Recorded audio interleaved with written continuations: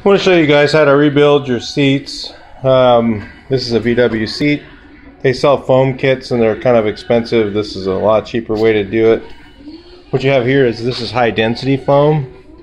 Put this on your seat bottoms and then what you do is you put this right here is uh, carpet padding. You can use this as a base or you can use what originally came on there is burlap.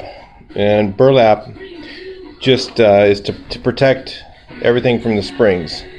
So you can put carpet padding down as a base, or you can use a really good firm material or burlap. I prefer doing this, and then you put your foam down. You can even piece it together. And what this is is this is half inch scrim.